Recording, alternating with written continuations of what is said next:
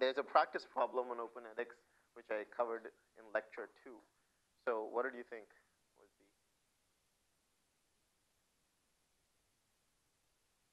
Yeah, the second. Uh, let's see. I don't even.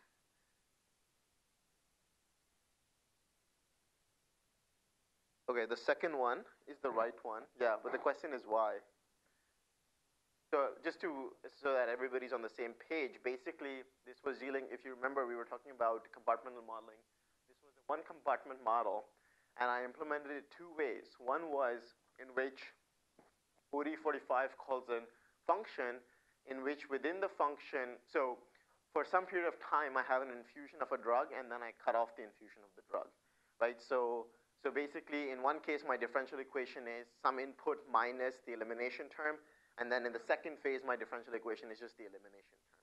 Now in MATLAB, I implemented this two ways. One was that within the function called by ODE45, I write an if else statement saying that if the time is greater than the cutoff time, then just have this elimination term.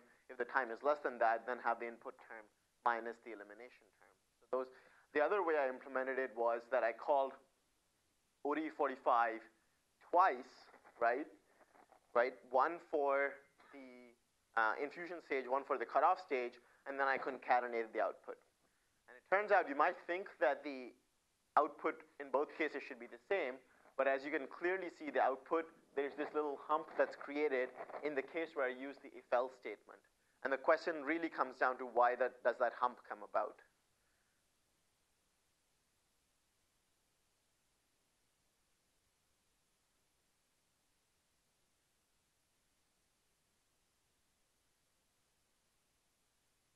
Okay. Okay, so yeah, so mathematically, I think what is sort of what you're saying, and the way to understand this mathematically is that all numerical integrators assume that your function is totally differentiable. Whereas at this point where you cut off the infusion, you lose differentiability because on one hand your differential equation is this, on the other hand your differential equation is that. And so it evaluates to different points. And so that's why you get that little hump because sort of what Rohit was saying, that's what it comes down to. But it's because, so there's a very important point, that's why I kept coming back to it, is differentiability is an assumption made in all numerical integrators, that your functions are differentiable. Sometimes they won't be. And if they won't be, then you have to use sort of, you have to call ODE45 many times, estimating wherever there are breaks, and then concatenate the outputs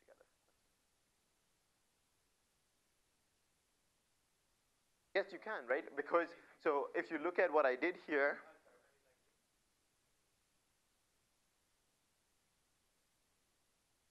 yes, as long as, as long as the point is, um, so you just have to be, I think that should work still.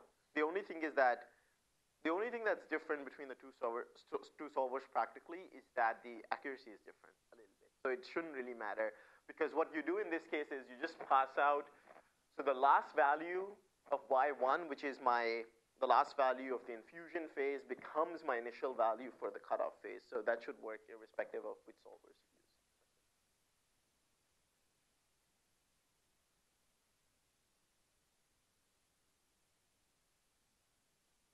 So something similar to the problem set where we have, yeah, okay. So we'll talk about that, but in the case of the problem set, I'll quickly mention this. Get rest but uh, is that is that is that I have both equations within the function called by LSQ curve fit. So then, because LSQ curve fit gets all the parameters in, both equations use those four parameters, or a subset of those four parameters. So both of them are in the same function. LSQ curve doesn't call separate functions with each one equation. Sorry, does that make sense? I'll, I'll let's talk about it more after class, but you can use all parameters then. Okay, so okay, so going getting back to convolutions. So the first thing I want you to understand is this idea of a linear time invariant system.